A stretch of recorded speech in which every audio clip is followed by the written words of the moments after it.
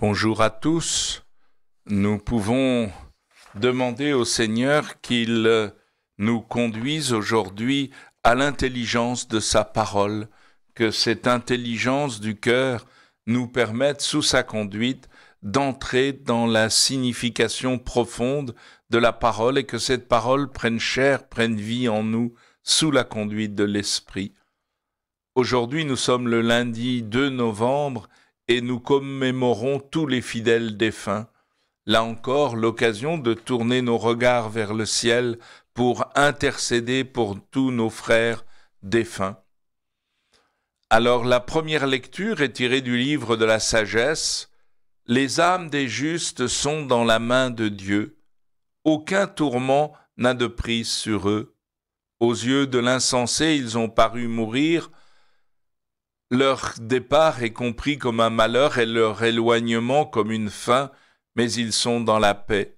Au regard des hommes, ils ont subi un châtiment, mais l'espérance de l'immortalité les comblait.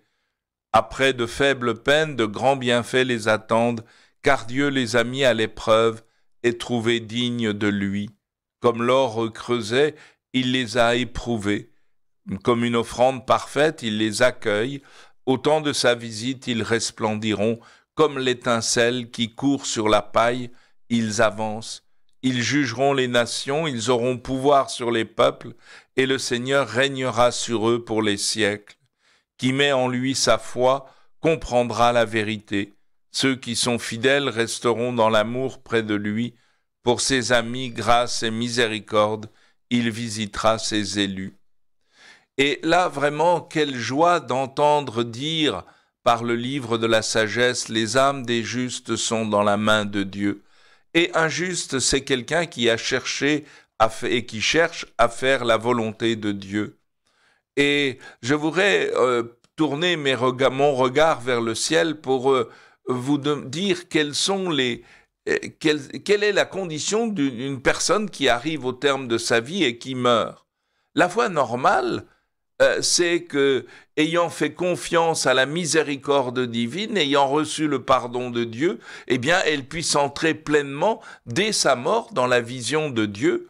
Et c'est même un, pape d'Avignon qui avait failli mourir en, refusant de croire à la possibilité de voir Dieu dès l'instant de la mort et c'est sur son lit de mort qu'il s'est converti, et c'est son successeur qui va euh, faire un décret important montrant que dès la mort, on pouvait participer à la vision plénière de Dieu.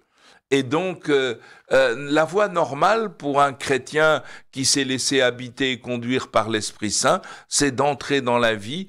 Et c'est Thérèse d'Avila qui disait de la mort, bah, c'est une porte qui s'ouvre sur l'infini de Dieu. Et la même chose euh, de la petite Thérèse qui a dit Je ne meurs pas, j'entre dans la vie. Et par contre, si l'on n'est pas encore prêt euh, à entrer dans la plénitude de l'intimité divine, et je vais prendre une image toute simple, hein, euh, vous êtes invité chez des amis, et puis au moment où vous arrivez au pas de la porte, vous vous apercevez que vous avez une tache horrible sur euh, votre pull, votre t-shirt, et vous dites mais je peux pas, je peux pas entrer comme ça. Il faut que je retourne à la maison pour changer de pull. Eh bien, euh, je pense que ce qu'on appelle le purgatoire, c'est que l'homme n'est pas encore prêt et il en prend conscience à entrer dans la plénitude de l'intimité divine, et c'est cette souffrance de ne pas pouvoir entrer immédiatement dans l'intimité divine euh, qui est le purgatoire, ce qui est une souffrance qui n'a plus rien à voir avec l'iconographie de feu, de, de démons avec des fourches, etc. Et puis la troisième possibilité, mais elle est liée à la liberté que Dieu nous a donnée, comme Dieu voulait que nous puissions l'aimer en plénitude, eh bien, il nous a donné la liberté, mais la liberté, c'est aussi la possibilité de dire non à Dieu. Et Dieu respectera notre liberté, mais pour les hommes, jusqu'à l'instant de notre mort, nous pouvons nous reprendre et nous convertir. On rappelle souvent le cas euh, d'un homme qui s'était suicidé en sautant d'un pont, et son épouse était venue pleurer auprès du curé d'Ars, et le curé d'Ars, après avoir prié un instant, lui a dit Madame, ne vous en faites pas, entre le moment où votre mari a sauté du pont et le moment où il s'est écrasé en bas, il a fait un acte de charité parfaite et il est avec Dieu.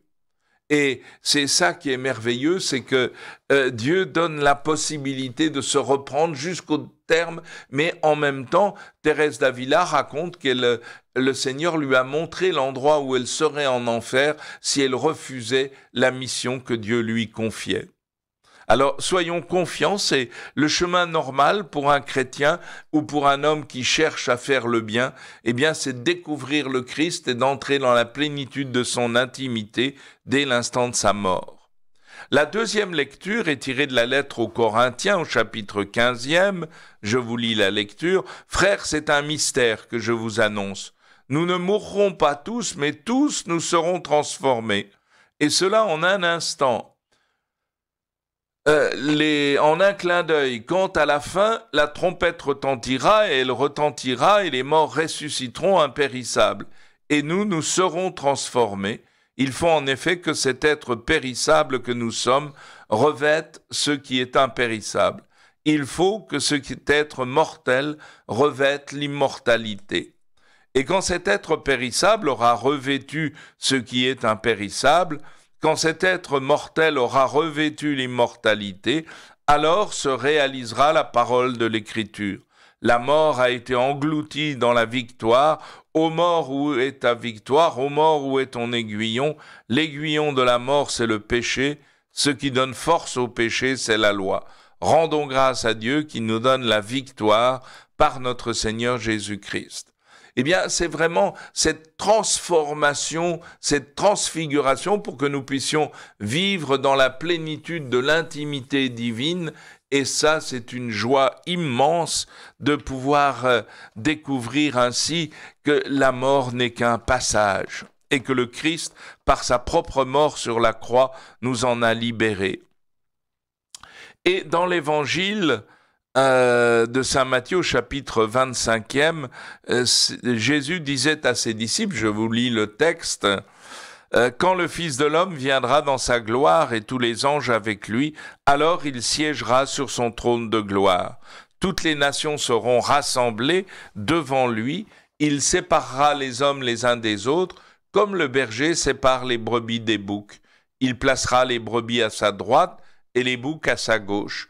Alors le roi dira à ceux qui seront à sa droite, Venez les bénis de mon Père, recevez en héritage le royaume préparé pour vous depuis la fondation du monde. Car j'avais faim et vous m'avez donné à manger, j'avais soif et vous m'avez donné à boire, j'étais un étranger et vous m'avez accueilli, j'étais nu et vous m'avez habillé, j'étais malade et vous m'avez visité, j'étais en prison et vous êtes venu jusqu'à moi. Alors les justes lui répondront, Seigneur, quand est-ce que nous t'avons vu?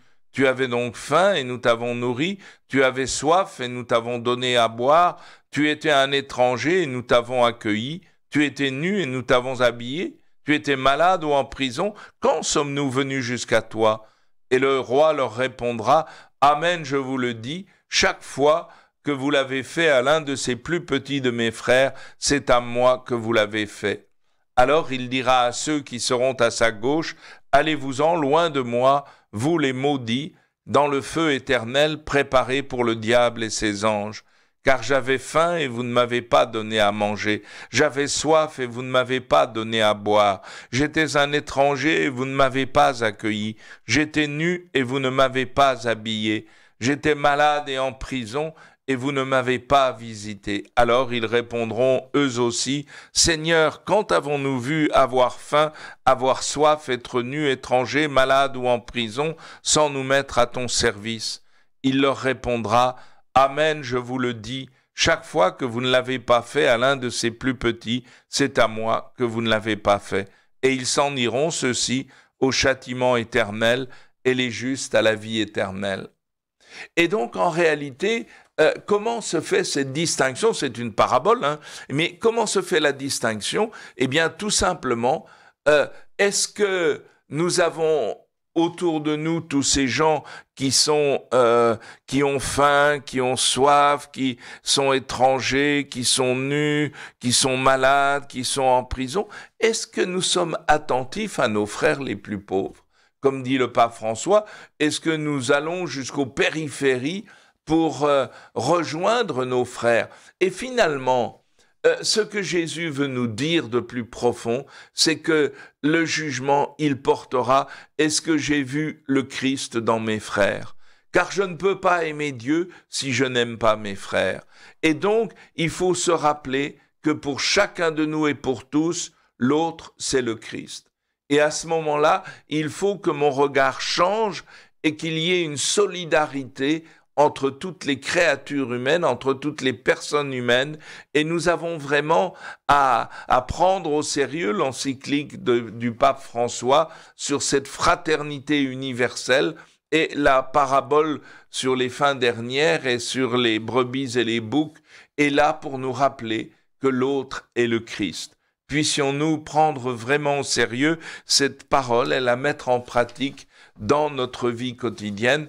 Je vous souhaite une bonne journée à tous en familiarité avec tous les défunts de vos familles qui ne, vont pas, qui ne vous ont pas oublié, mais qui désormais ont pour mission de vous aider à les rejoindre un jour en découvrant comment l'autre est le Christ.